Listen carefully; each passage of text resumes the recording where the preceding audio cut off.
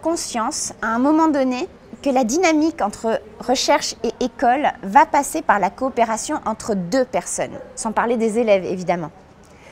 Les démarches propres à la recherche, telles la démarche d'investigation, sont abordées dans les programmes scolaires.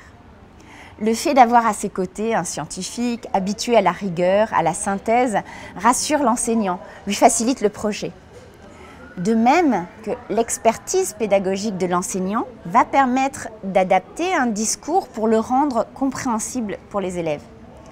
C'est l'enseignant qui, grâce à son habitude, à sa prise en charge du groupe classe, va permettre au projet de vivre.